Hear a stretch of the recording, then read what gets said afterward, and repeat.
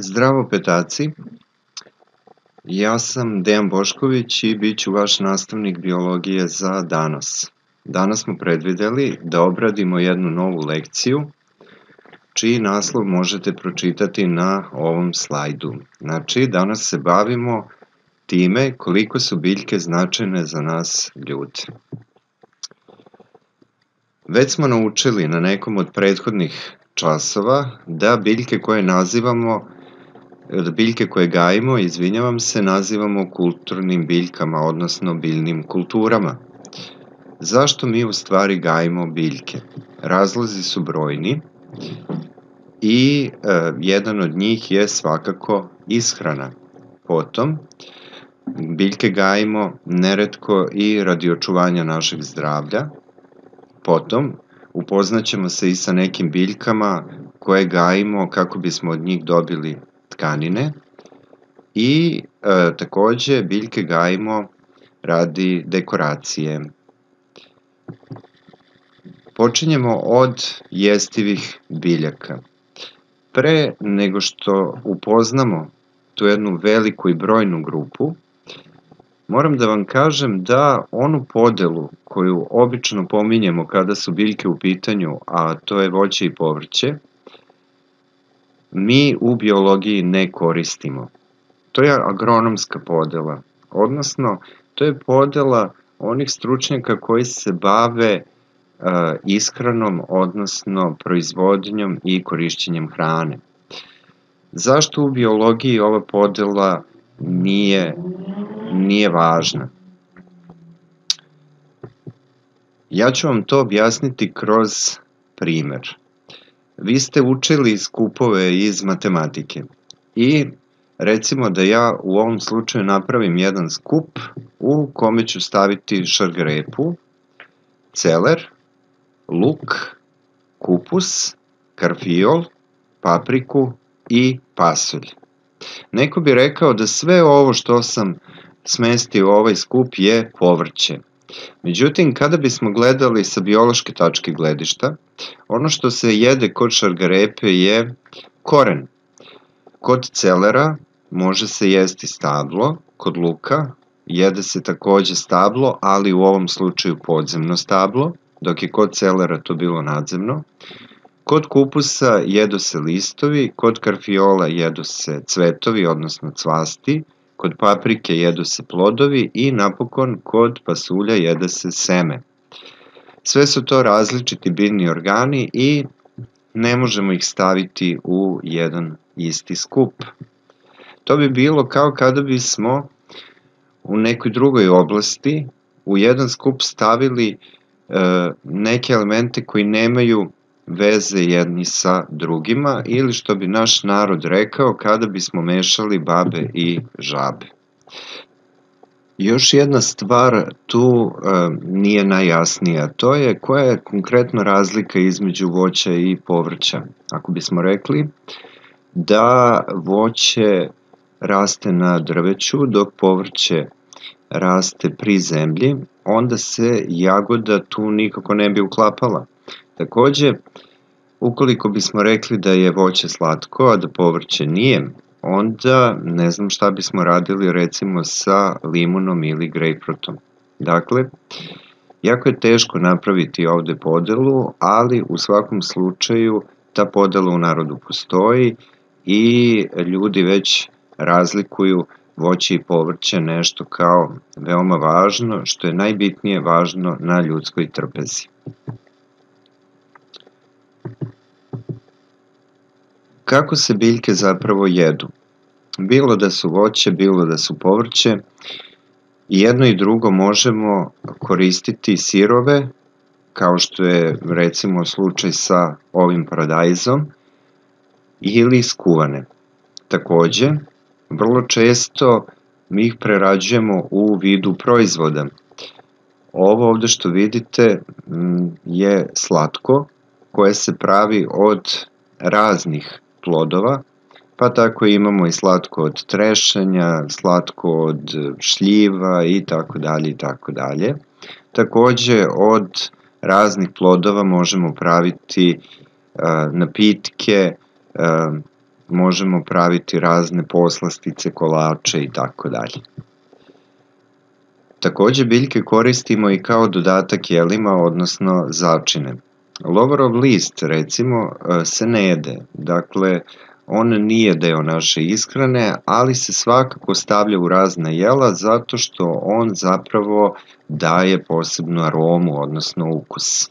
Ovo su neki začini koji potiču iz Indije, tamo jako mnogo koriste najraznovrsnije začine, neki od njih smo e, preuzeli i mi koriste se i u našoj kuhinji. Ovo je nešto o čemu ćemo tek učiti, a to je piramida ishrane, odnosno piramida zdrave ishrane. Zašto se sada slika okrenula na glavačke? Zato što kod piramide zdrave ishrane, ono što se nalazi na dnu, to je najvažnije da se nalazi u ishrani i toga treba da bude najviše. Pre svega žitarica, o kojima ćemo pričati sledeći čas, a tu je i a, tu su i mnoge druge biljke koje kao što rekoh već smo tradicionalno podelili na voće i povrće. Kada pogledate u piramidu zdrave ishrane, veliki deo te piramide zapravo zauzimaju biljke. Treba li dalje ište pričati o značaju biljaka u ljudskoj ishrani? One dakle koriste Eh, one sadrže mnoge korisne substance kao što su vitamini. O vitaminima ćemo učiti u nekom narednoj godini, a ovde sigurno prepoznajete Popaja Mornara koji je zaslužan za to što su deca, makar u Americi, u većoj meri počela da jedu spanać. Prešli smo sada na lekovite biljke. Najčešće su poznati čajevi od ovih biljaka i primer je upravo biljka koja se zove čaj. Evo kako ona izgleda, ima jako, jako lepe cvetove. Kod nas se vrlo koristi čaj od nane i kažu da smanjuje stomačne, umanjuje, ublažava stomačne tegobe. Kamilica, vrlo prepoznatljiva, vrlo često se koristi recimo za ispiranje očiju ukoliko je došlo do infekcije, odnosno do nekakve bolesti oka. Majčina dušica i žalfija su takođe naše lekovite biljke.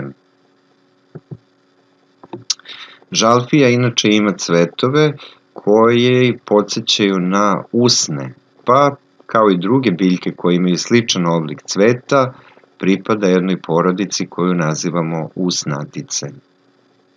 Sa lekovitih biljaka idemo na one biljke od kojih se pravi odeća, odnosno tkanina. Pamuk je vrlo cenjena jednogodišnja biljka, evo vidite kako lepo izgleda njen cvet. Iako je tropska vrsta, gaji se širom sveta, što znači da ju je čovek rasadio na mnogim kontinentima – Ona inače pripada porodici slezova. Kod nas žive crni i beli slez. Ovo što vidite levo je crni, a ovo u sredini je beli slez. I ako uporedite oblike e, cveta, primetit ćete da neke sličnosti sa cvetom pamuka svakako postoje. Seme je inače obraslo vlaknom, ali sadrži i jestivo ulje. Evo kako izgleda seme pamuka.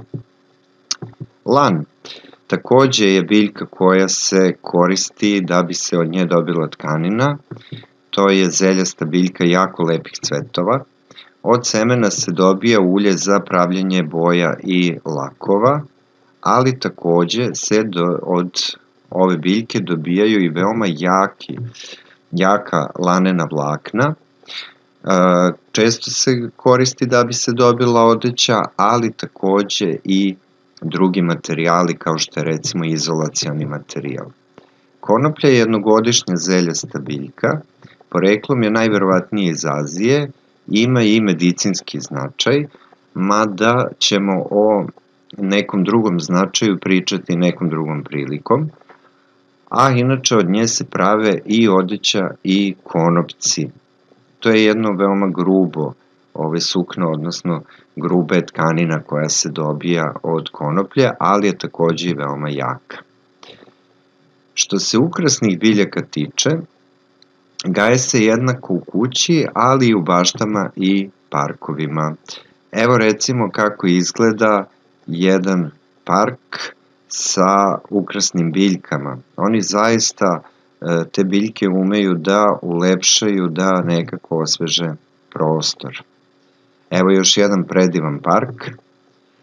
A ovo što vidite nisu crteži na, na betonu, odnosno u parku, oni su zaista dobijeni tako što se trava sadila samo na određenim mestima u vidu šara i vidite kako to lepo može da izgleda.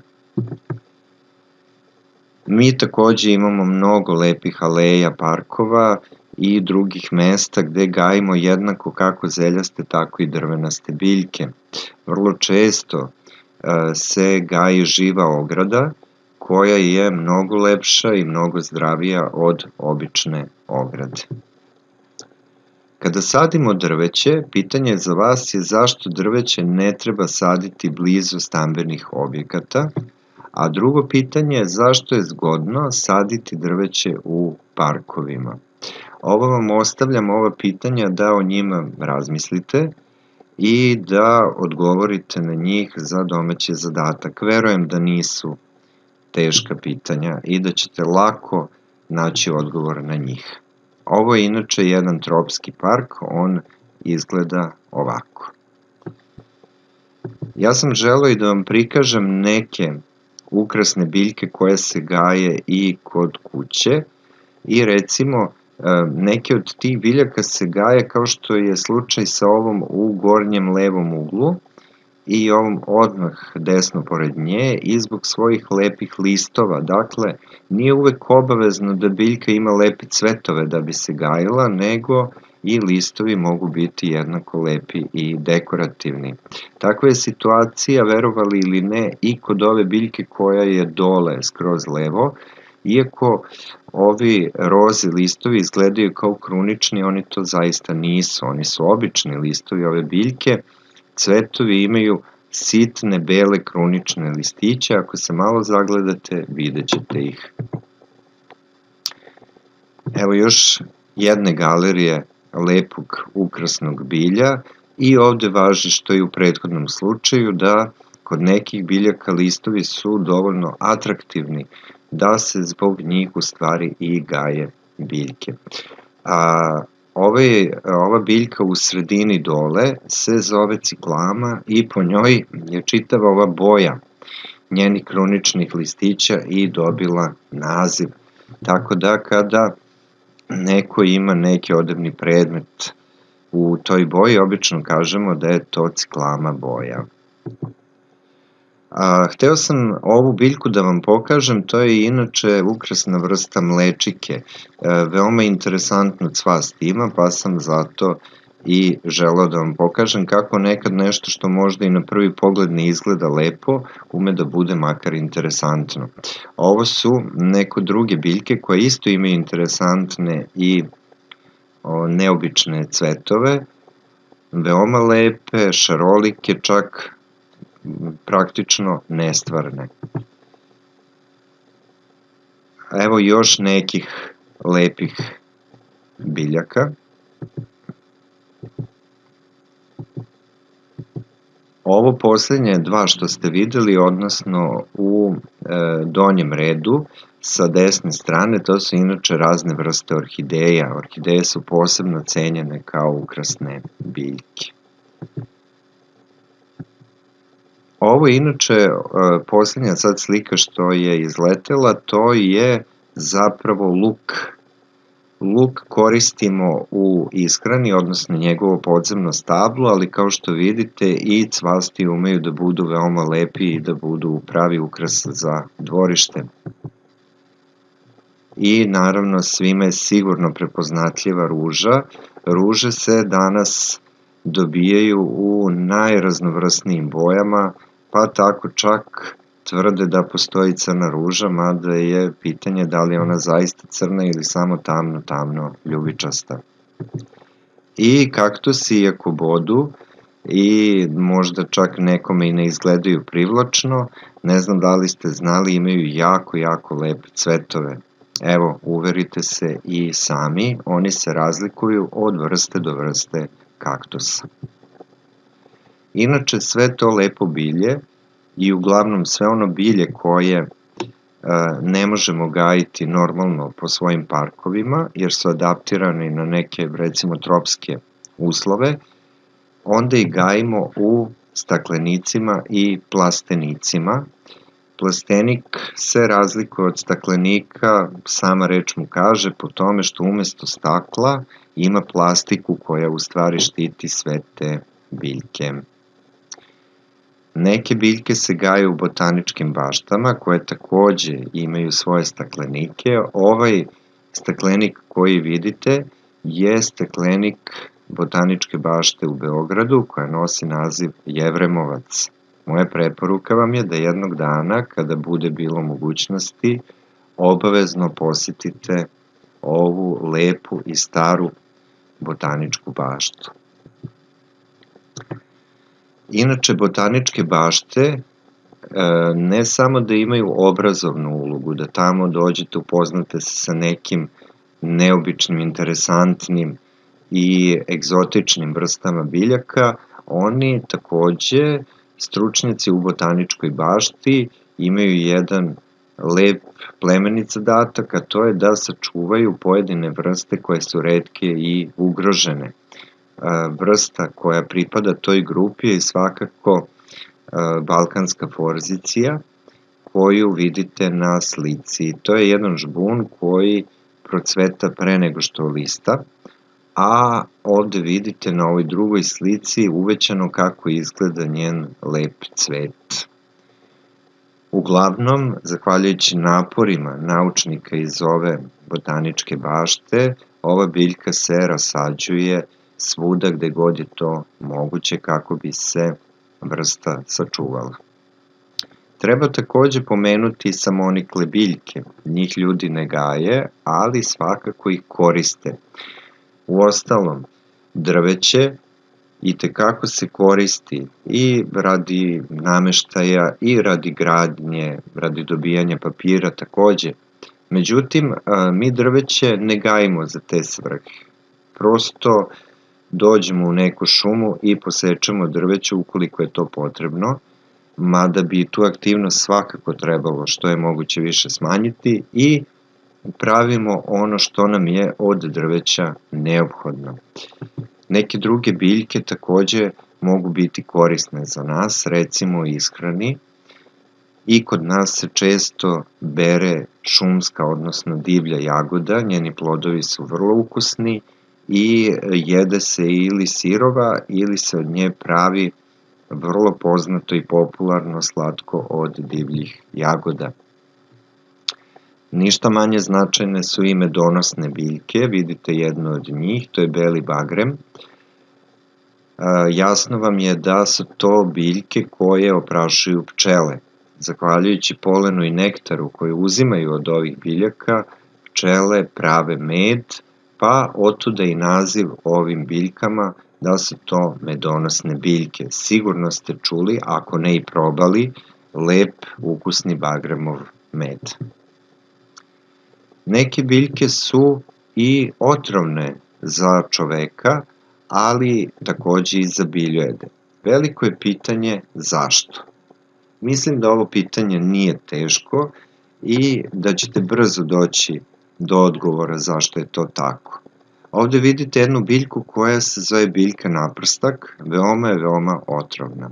Zašto su neke biljke koje su lepe i ujedno i otrovne? Pa, na taj način se one u stvari štite od biljojeda. Jer biljojedi će svakako izbegavati one biljke koje su otrovne za njih. Kukurek je dobio isto naziv po tome što je otrovna biljka, kuku, To se inače koristi kao a, reč u mnogim delovima Srbije. A ovo što vidite ovde vam sigurno malo se razlikuje od kukureka koji ste obično navikli da vidite. Znate da on ima onako cvet ko, koji sačinjavaju zeleni listići. Kod ovih kod ove vrste su onako malo plave boje, plavo ljubičaste rekao bih. On se naziva crni kukurek i prema nekim naučnicima on je zapravo E, prva biljka koja se koristila kao biološko oružje još pre 2500 godina, kada je jedan starogrčki vojskovođa išao osvajanje jedne tvrđave, e, ljudi unutar te tvrđave su se tako zabarkadirali da on prosto nije mogao da dopre do njih. Šta je on onda učinio? Ubrao je mnogo ovih biljaka i bacio ih je u reku, i na taj način je zagadio, odnosno otrovao vodu koju su žitelji te tvrđave koristili da bi imali pijuću vodu. Ova biljka inače izaziva proliv kod ljudi i stomačne tegobe uopšte, tako da je odbrana grada brzo popustila i starogrčki osvajač je uspeo da osvoji taj grad. O kom osvajaču je reč? To će vam sigurno pričati nastavnici istorije. Kao što gajimo neke biljke, recimo e, mi volimo da gajimo jabuke, volimo da gajimo šljive, pšenicu, kukuruz i mnoge druge vrste, tako i neke vrste nam prosto izrastu tamo gde ih mi ne želimo. Kada se to dešava, kada nam tako izrastu neki nepozvani gosti, mi onda govorimo o korovima. Korovi zapravo rastu na svom prirodnom staništu koje smo mi oteli od njih, ali nam sada oni smetaju ukoliko se na to stanište vrate. Zašto nam smetaju? Zato što kada korov izraste, on konkuriše biljkama koje mi gajimo za vodu, mineralne substancije i sve druge resurse, prostor pre svega i onda mi želimo da se tog korova rešimo. Evo koje biljke su najčešći korovi. Ova prva sa leve strane sa ovim divnim roznim cvetovima pripada zapravo grupi karamfila i zove se e, kukolj. Sigurno ste čuli za izreku da u svakom žitu ima kukolja. Ta izreka se inače odnosi na one ljude koji su loši i da među dobrim ljudima uvek se nađe neki čovek koji je loš. Kada pogledate ovako lepu biljku, onda nekako vam se čini da ta izreka baš i nije primerena za nju. Ova druga biljka je čičak, a treća biljka sigurno ste je prepoznali je maslačak ali ono što vam moram reći jeste da svaka biljka može biti korov. Zašto vam to kaže? Maslačak recimo za nas uopšte nije nekorisna biljka, naprotiv, mi e, od listova maslačka možemo praviti vrlo ukusne salate. Neke biljke koje su korovi su recimo lekovite biljke, pa ipak nam smetaju. Zašto nam smetaju i kako je moguće da i tako korisne biljke nama budu korov. Ovo je jedno malo teže pitanje, pa ću vas pustiti da o njemu malo duže i razmišljate.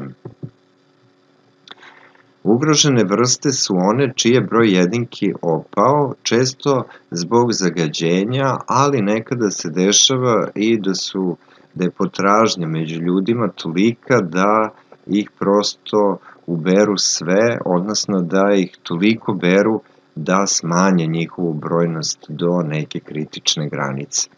Neki od ugroženih vrsta su recimo lincura, ona živi na malo višim terenima, potom tu je sasa sa svojim mnogo lepim plavim cvetovima i runolist, veoma, veoma neobičan. Takođe, može se naći na malo većoj nadmorskoj visini. Podatke inače ugroženim vrstama sadrži crvena knjiga o čemu smo već i pričali.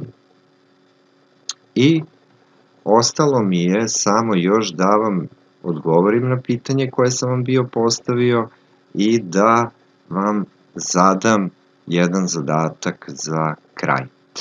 Pitanje koje sam vam postavio je kako je moguće da svaka biljka, bez obzira na to koliko nama korisna bila, bude korov. Pa moguće iz tog razloga što ako mi sadimo pšenicu na jednom prostoru i nama izraste tu negde maslačak koji jeste biljka koju mi možemo svakako iskoristiti na neki način. Taj maslačak nama svejedno smeta jer mi ga prosto tamo nismo želeli. Može da se desi, sada recimo zamislimo takvu situaciju, da mi posadimo lubenicu i želimo lubenicu i sve svoje snagu i energiju smo usred sredili da uzgajimo tu lubenicu i da nam izraste recimo pšenica. Doduše, to će teško da se desi, ali recimo hajde da zamislimo tu situaciju. Pšenica u ovom slučaju će biti korov, jer mi pšenicu na tom mestu ne želimo. Dakle, svaka biljka koja nam je nepoželjna na nekom mestu gde sadimo neku vrstu, će biti korov, bez obzira na to koliko korisna ona nama bila. I da vam zadam zadatak koji sam vam takođe obećao. Treba da napravite spisak sa idejama šta mi kao petaci možemo da učinimo za biljke u našem okruženju. Kako možemo da ih sačuvamo i na koji način možemo da im pomognemo da u što većem broju rastu i da nam obezbeđuju kiseonik, hranu i sve ostalo što je nama neophodno za život.